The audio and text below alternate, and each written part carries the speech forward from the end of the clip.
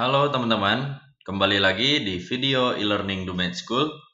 Kali ini saya akan share kepada teman-teman apa yang dinamakan dengan karakter style di Adobe InDesign. Ya, jadi karakter style di Adobe InDesign itu adalah gunanya untuk membuat format penulisan. Oke, jadi nanti dengan karakter style yang sudah kita atur, formatnya ya misalnya tentang jenis hurufnya, kemudian besar hurufnya seperti apa gitu. Nah, kita bisa membuat format yang sudah kita tentukan ya beberapa format misalnya untuk judul, kemudian untuk bagian isi dari artikel. Nah, biasanya dengan format yang berbeda-beda. Seperti itu. Dengan kita membuat karakter stylenya satu persatu, kita tidak perlu lagi untuk memilih berkali-kali ya, memilih misalnya jenis hurufnya berkali-kali seperti itu. Ya, jadi istilahnya itu adalah untuk format penulisan secara otomatis. Jadi cukup kita setting di awal satu kali, maka bisa kita terapkan di semua bagian di artikel yang kita buat dengan menggunakan Adobe InDesign. Oke? Nah, pertama kita buat dulu file baru ya. Ukurannya ambil saja A4 seperti itu. Kemudian kita buka karakter style, window, kemudian style, kita pilih karakter style ya. Di situ akan keluar karakter stylenya. Nah, sebelumnya ini ya. Sebelumnya saya buat dulu type frame-nya ya. Type tool. Kemudian saya masukkan artikel, kita ambil saja misalnya di lipsum.com. Oke. Misalnya saya ambil dua paragraf di sini atau tiga paragraf. Saya copy. Kemudian saya buka InDesign-nya lagi, saya klik kanan, saya paste. Oke. Nah, di sini kita sudah mempunyai tiga buah paragraf ya, satu artikel. Nah, misalnya di sini saya kasih judul. Yang ini saya copy, saya enter, kemudian bagian atas. Atau sebelumnya saya buat dulu framenya kita bedakan saja framenya seperti itu. Oke? Jadi nanti yang atas ini adalah frame judul yang di bawah adalah isinya nanti ada lagi satu frame di bagian bawahnya di sini. Ini saya copy. Seperti itu. Dan saya copy lagi ya. Saya buat frame lagi. Kemudian saya paste lagi. Oke. Jadi ini judul besar kemudian ada sedikit penjelasan di bawah judul baru ke isinya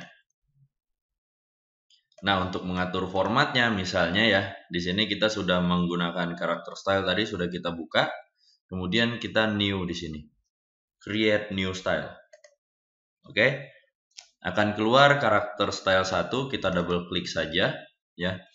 Kemudian kita misalnya kasih nama di sini adalah judul. Oke. Nah, basic format misalnya font family untuk judul saya pilih di sini Proxima Nova dengan font stylenya adalah bold ya Kemudian size-nya saya pilih misalnya 48 poin. Kemudian saya klik OK.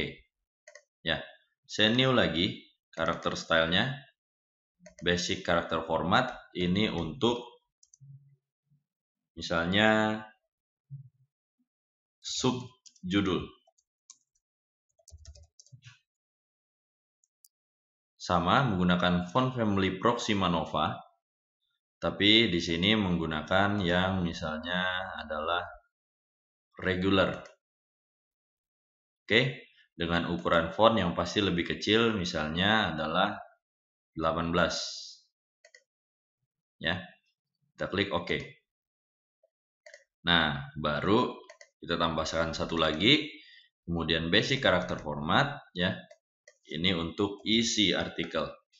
Kita pakai Proxima Nova juga, font stylenya yang like.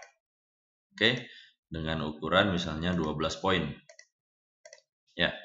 Jadi misalnya di sini, saya klik bagian atas, kemudian tinggal kita pilih dari karakter style yang sudah kita buat. Nah, berarti ini kurang besar. Seperti itu. Oke.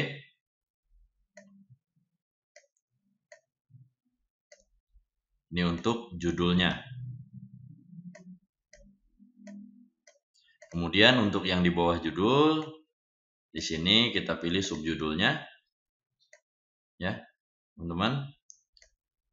Misalnya ini saya kecilkan. Seperti itu. Ini juga saya kecilkan dengan ukuran yang sama. Nah, yang untuk isi kita seleksi bagian isinya, kemudian klik di sini. Nah, kurang lebih hasilnya seperti itu.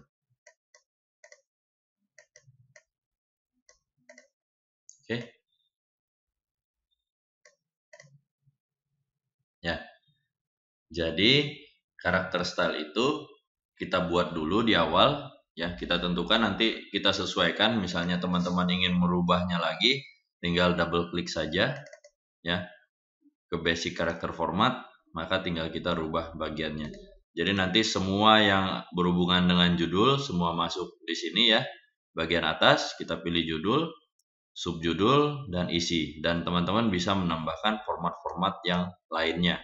Seperti itu oke dengan menggunakan karakter style itu akan mempermudah dan mempercepat kita ketika kita membuat desain dengan menggunakan Adobe InDesign. Ya. Itu tadi tips dan trik sedikit dari saya bagaimana cara menggunakan karakter style di Adobe InDesign. Semoga bermanfaat untuk teman-teman semua dan sampai jumpa di video e-learning berikutnya.